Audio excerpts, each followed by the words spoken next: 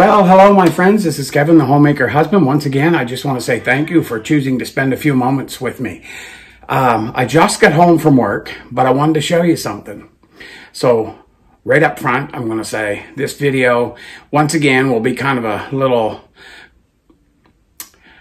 mix up or mash up of whatever we've got going on. But I'm kind of excited to show you this. Well, you'll understand. I want to first start by saying that I just know that as a husband, I'm extremely blessed to have the wife that I have. And I told her I was going to say some of this stuff, but I didn't. And I said, it's not to suck up. This is like legit. I am a very blessed man, I know. Now, I want to say this as well. I am not picking on anybody. I always say, you do you, and we will do us. But here's the deal. Michelle, as you know, and myself, we're both pretty much foodies. Michelle, before she was, uh, before she became unable to do a lot of baking and cooking, baked and cooked all the time. And she was, her thing is cookbooks. So, in regards to me being fortunate, like Michelle never asked for anything. And she doesn't go out behind my back and spend a bunch of money and stuff like that. So I'm just extremely blessed. So when she finds something that she's kind of excited about, I get excited for her and I want her to have, right? So at any rate, last night, she, well, she had called me before I got home and she said, I want to show you something when you get home and blah, blah, blah. I, I guess I'm talking too much. Long story short, she found on Facebook Marketplace uh, an elderly woman who, for reasons that I won't go into, is not in need of her cookbook collection anymore. So she was selling the whole thing and Michelle bought it for an unbelievable price. So it worked out good for everybody. This woman wanted to sell. Michelle wanted to buy. The price was really good. Michelle see, was able to see in a couple of pictures that there was some books that she wanted. And I got up to Woodstock today and was able to pick them up and this woman's husband was there and helped me carry him to the truck and everything. So anyway, that's a lot. But I'm going to step to the side and show you. This, this is the cookbook collection that she was able to get. It's clear to the floor. I'm going to take the camera down in a second and show you. They're all boxed up. I haven't seen them. Michelle has not seen them yet.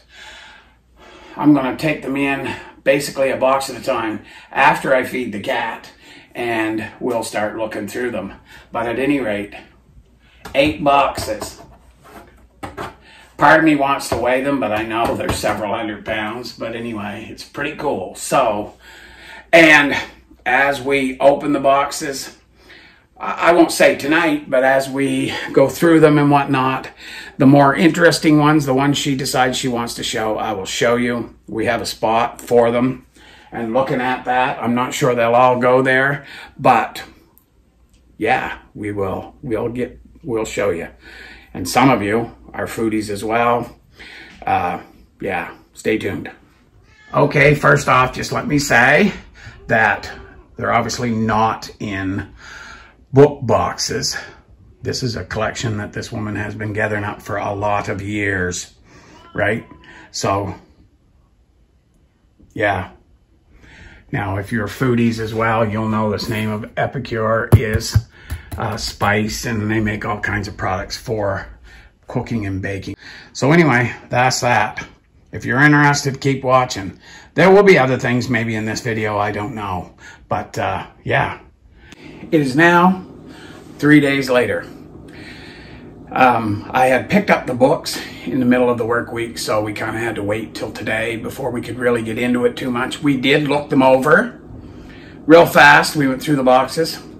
And there is an incredible amount of cookbooks and stuff, magazines, all kinds of stuff. Now, cookbooks are a genre of a collectible. Michelle loves to cook, loves to bake. She's very good at it, I might add. And she's she she reads cookbooks like some people read novels, right? So today we went about sorting and eliminating a few things and there was so many books. I'm going to say this right off. Right now I'll show you this. This is a full box of magazines that she has no interest in. So I would imagine they're just going to be thrown out. But yeah, there's there's not much collectability, not much interest there for her and them. Some of you I know, we have heard, really, really enjoy looking at cookbooks as well. So you're going to find this may be more interesting than others. But it's for Michelle. Very happy to do it. And we literally spent six hours, six and a half, kind of trying to sort out and look at some things. And I'm going to show you a little bit of them right now. I still have the cardboard boxes in the center of the living room floor. Not going to cut them up, destroy them until we know exactly what we're doing. I'm moving some things on some shelves to make space for these. I'm going to clean out a cabinet which I will show you in a few minutes. I haven't done it yet, but I'm going to clean out a cabinet to put some of the books that I'm about to show you. There's some right there that I'll show you, and some right there that I'll show you. And they are probably going to go in the cabinet where we have the canning jars stored, and I have the pleasure of finding a new place for them, but I can. So there's going to be some pantry work, but that won't be in this video. Maybe I'll show you in the next video. Pantries always need to be refreshed. And I'll show you her bookshelves. Now, there are other books on there. There's still some space where I'm going to put some books. Uh, for those of you that have followed us for any amount of time, you would know that Michelle has physical limitations. So she can't reach down real low and she can't reach exceptionally high. So we have about a three shelf margin where she can get them herself. Other than that, I have to help her a bit. And that's my job. I like doing it. So anyway, I'm going to show you some vintage cookbooks this is the thing there's so many genres right? You got your hard covers and you got your soft covers and then you got your vintage hard covers and your vintage soft covers and then you got big books and then you got little books right? And i'm one that likes to categorize and organize things so that's what we're doing. I think she likes it as well. You know uh, cookbooks that are of the same like i'm going to say for example pies. Wouldn't it be nice if they could all go in the pie section but then you get a big pie book and a little pie book and a yada, yada, yada, yada. So anyway, I'm going to show you, first off, a stack of vintage cookbooks. And some of them are really old. There's a couple here that we found a copyright date on, like in the middle 50s. So yeah, few of them, and then we'll see. Stay tuned.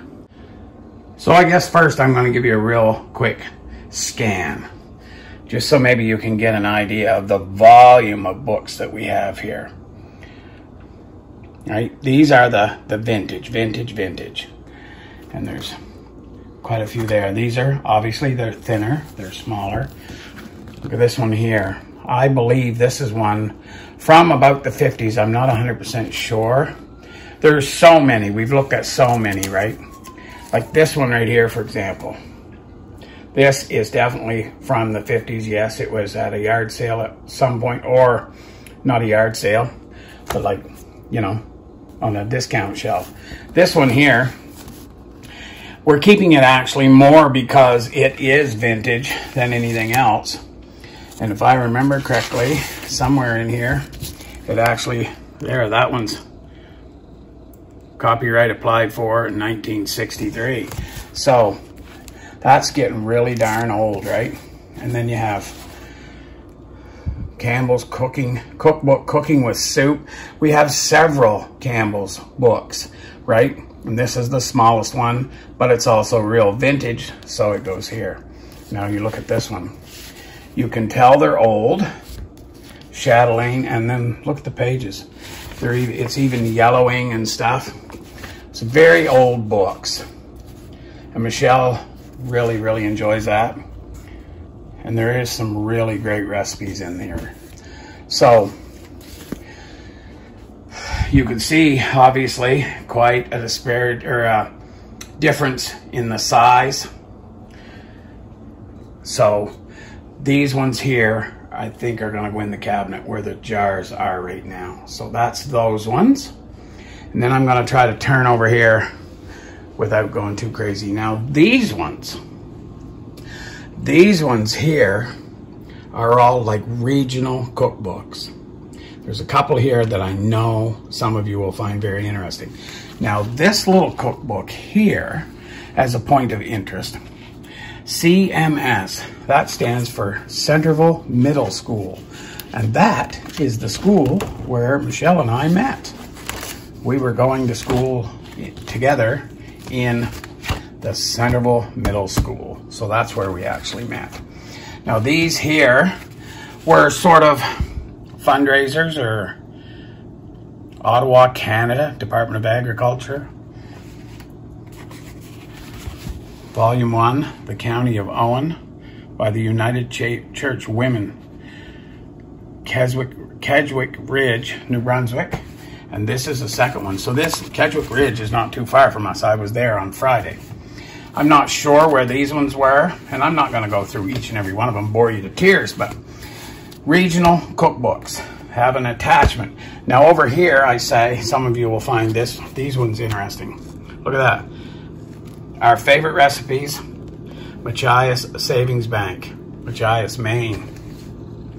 This one, Katahdin Kitchens, Volume 2. That would be Katahdin, Maine, right?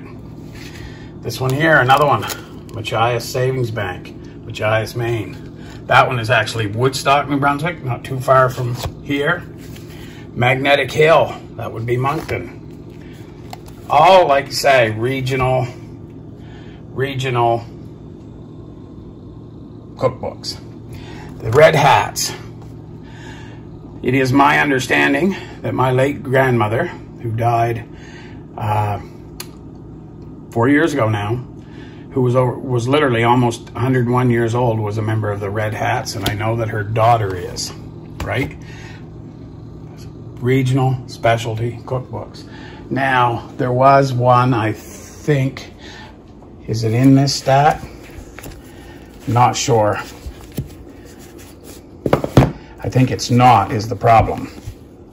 But at any rate, we literally have two of these little books from, I think there were, one was from Houlton, Maine, and it's a bicentennial, U.S. bicentennial. So it's 1976. We have two little books like that that are from 1976. Really, really interesting. And I know they would be very interesting to some people, right? Especially if you're from Houlton, Maine. Lots of old pictures. Now, as you can see here, I still have this whole space that I can fill up. We just haven't got there yet. We had to take a break for supper, right?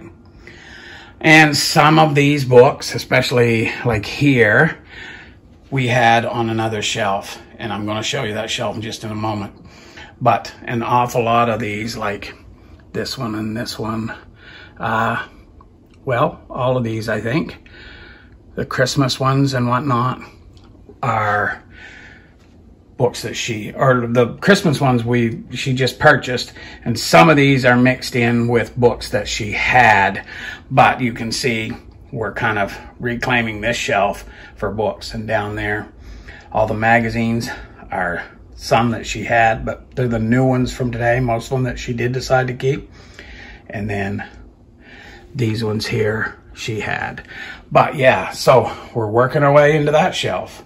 And I'm going to show you the last one here Okay, you can see that she has quite a lovely selection going here. And over in this section here, I still have room for a couple of more thinner books or one reasonably thick one. And then there's this, uh, what is it called? Goose Patch or whatever. That little book belongs with them, but it's just small and it won't fit there. This big book won't is too tall for any of the shelves we have, but she loves it. That's one of the new ones she's got, 1950s cookbook, and it is looking like it's a really good book. The Big Betty Crocker cookbook there is new. The Fannie Farmer cookbook she's had for a while now, and that was not this particular one, but the Fannie Farmer cookbook is the first cookbook Michelle ever received. So then we go down in here, right? Barbara Fairchild. Martha Stewart, I guess. Joy of Baking. A lot of really good, really good cookbooks there. And I apologize, that's kind of a bit of a mess there. I don't even remember doing that. But anyway, Company's Coming cookbooks, as is that one standing up there, that red Christmas one. And then, of course, down here, we've got a bunch of Bibles and related materials. So, yeah. So quite a few there. Michelle was quite excited. And we still have more work to do, so. Okay. I thought it was important enough that I, since I talked about it, and you know, an awful lot of our regular viewers are from the U.S. And we love you. We're glad you're there. Um, and you know that I've trucked into 30 states and I've enjoyed every minute of it, really. Uh, yeah, I've met a lot of nice people, a lot of really interesting and nice people. I stress that. Interesting doesn't necessarily mean bad, but anyway, um, you know I love the U.S. So I wanted to show you this. This book right here, Houlton, 200th anniversary. This book, uh, I just flipped open to this page, but it is full of historical pictures. And of course, now I'm not into them, but just chock full of pictures. This book right here would be of value to collectors. Michelle's a collector. It's very valuable to her. And also, just a couple of these little ones. These are centennial books. Very, very exciting to have them for somebody who loves cookbooks. You know, this is an interesting little piece for most anybody. Especially, I'm guessing if you were from Houlton, Maine, you would find this book to be very interesting. But yeah, so that's that's that part of the video. Just thought I would take a moment to show you those. They're pretty cool. Um, now, also, just going to talk a minute about, and once again, I like to say I'm no expert, but I listen a lot to different sources I read a fair bit from a few different sources to get some good news. Or not good news, I would love to have good news, but some valuable news. Let's put it that way. I'm not wanting anybody to panic, but I am saying we need to be very, very vigilant of what's going on. Try to find out what's going on. I'm sure most of you do find out what's going on outside of your locale, um, outside of your country, what's happening in Europe. There's a lot of interesting things going on over there. There's uh, a lot of crazy things going on in the political world, which I'm not going to get into too much because, just because. Um, what I would say about prepping your pantry, I think this is what we need to do a little bit as well, or I wouldn't be telling you to do it. You remember the video a couple of videos back, I said I had picked up a case of soup. I think the time for bulk buying products like that is now upon us. If you find a sale and you can get soup like that for 50% of its regular price, get as much as you can. I'm wishing now I brought another case. Say la vie, I did not. Uh, yeah, we are now getting into like we have a good we had a stock build up for more than like a year and a half. And as I said, our pantry is always a working pantry. And when prices are high on something, if we have a stash, we use out of it a bit. And then if we catch a sale, we will replenish that. And there are some areas where we need to replenish because we're getting down. We haven't had to buy shampoo, toothpaste, soap, anything like that for a long time, but it is time to now gather up some more soap like the shampoo Michelle uses, different things like that. So, without trying to stir any panic, I just think that if you need or if you can, you find them sales, and I'll tell you, the sales are getting fewer and further in between. That soup was the best sale, even at Walmart, that we've seen for a long time. Prices are extremely high and getting higher. We watch some American channels and we're just amazed. We hear some of you talk about the prices going up, and they are for you, but we haven't paid the kind of prices you're paying now for for a couple three years. You know, like our prices are a lot higher than what some were seeing. But trust me, I get it. I know they're still high for you. They're only going to get worse. So if you can buy some items in bulk that you know you're going to use, now's the time to do it. If you haven't been already, now's the time to do it. So if you've watched this far, I hope you enjoyed the little look at Michelle's cookbook collection. I know she enjoys it. And there's going to be some news on that coming up fairly soon. I, am not sure. It's going to be up to her. But uh, stay tuned for that. And uh, thank you once again. Please subscribe if you haven't. Give us a thumb up. Thumbs up. That was pretty crazy, wasn't it? A thumbs up. Give us a thumbs up if you enjoyed this video. A little look at Michelle's. I wish I could show you what I like, but not on this channel. Anyway, it's Kevin, the homemaker husband, saying God bless and bye for now.